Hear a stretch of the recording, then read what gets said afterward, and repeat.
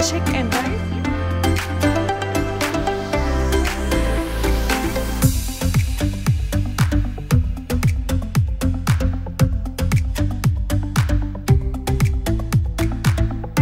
ومفاتيح الغرفة وصارت معاي. راح تسألوني عن السكن في أبو ظبي. طبعا السكن خياراته جدا كثيرة لكن أنا نصيحتي لكم اختاروا جزيرة السعديات جزيرة السعديات أحدث بيتش ومنتجعات صحية والخدمات اللي فيها رائعة. كأنكم مسافرين آخر الدنيا فأنصحكم تجون وتجربونها. أنا اخترت جميرة بيتش سعديات ليه؟ لأنهم الوحيدين على طول الشاطئ عندهم مثل هالإطلالات البانورامية ومساحة الشاطئ اللي ممكن تسبحون فيه جدا كبيرة.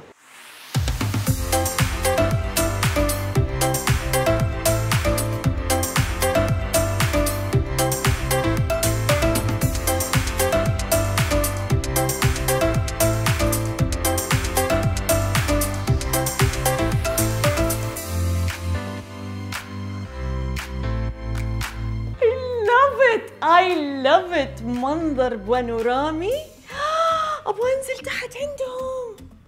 يلا يلا يلا يلا يلا.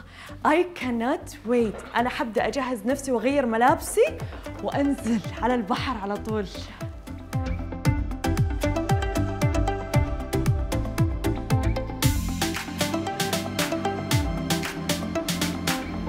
أبو ظبي ويا جمالك يا أبو ظبي. أبو ظبي مشهورة بجزرها المطلة على الخليج.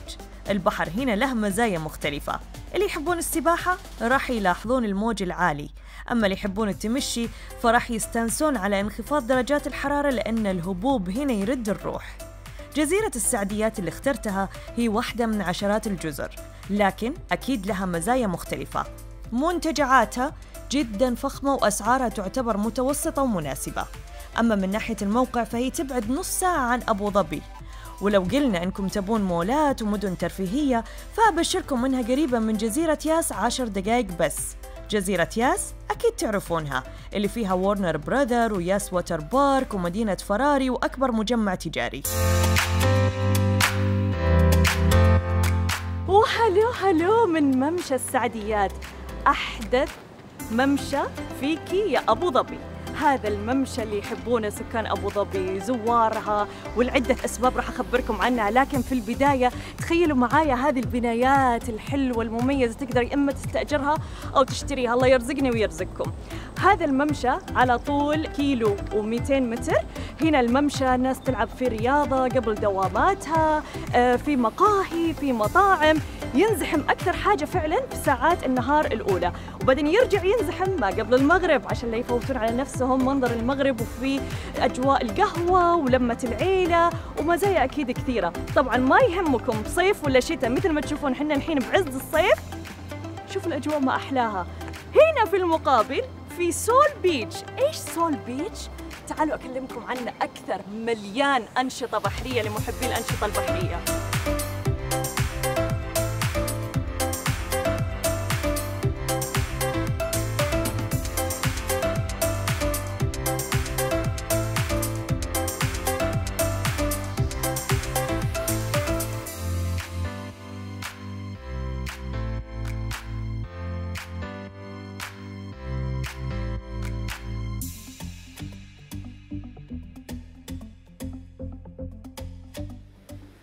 wow يا ليتكم معايا في هذه الأجواء الرائعة. هذا ال Soul Beach برسوم جدا بسيطة راح تنتقلون من ال public beach إلى ال private beach.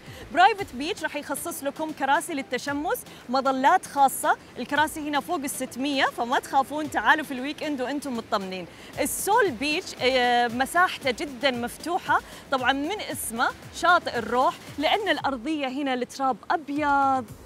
الموج ولا أروع مرتفع لمحبي الأنشطة البحرية سباحة آه، ركوب الأمواج jet ski وغيرها. أكيد لما تشيكون الموقع الإلكتروني راح تحصلونها.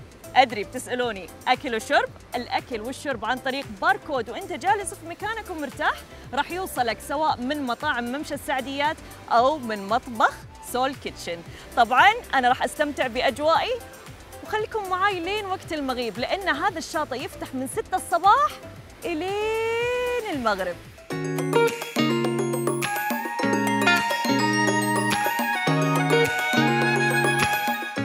سبع دقايق من السعديات راح تحصل نفسك بجزيرة ينقال لها جزيرة الجبيل هذه الجزيرة معروفة بالمانجروف أو بممشى القرم. حديقة القرم هو ممشى خشبي رائع يطفو فوق الموية.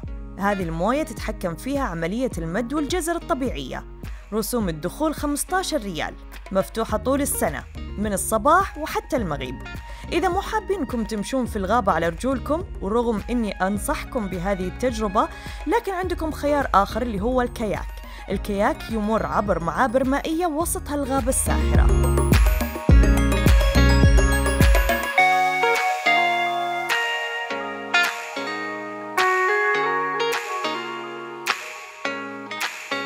سبحان الله كيف إن الكل مناخ بيئة نباتية تتناسب معه. المنجروف راح أخبركم عن فوائد المنجروف لكن في البداية تعرفوا أن المنجروف معرض للانقراض. إذا أهملنا هذه البيئة راح يترتب عليها أمور جدا كبيرة. أبو ظبي تهتم بالمنجروف مسويت له هذا الممشى. وأيضا تشوف القابلية أنها تأخذ من هذا المنجروف وترجع تزرعه بأماكن ثانية. ملوحة حرارة جو. المنجروف يخفف الحرارة يخفف من آه، ضغط المناخ والغبار ويحسن من الجو العام.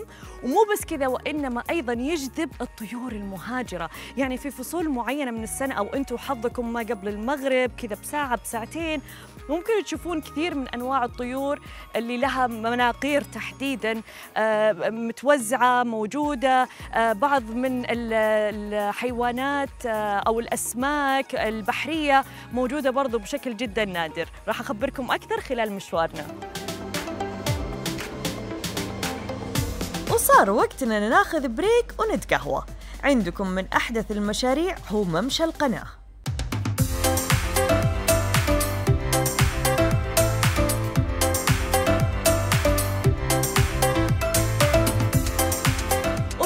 أحدث مشروع ترفيهي واجتماعي وثقافي في أبو ظبي قناة أبو ظبي المائية. ممشى بحري للسفن والعبارات وبرضه بموازاته ممشى لمحبي الرياضة أو حتى اللي حابين إنهم يتمشون ويستانسون في وقتهم.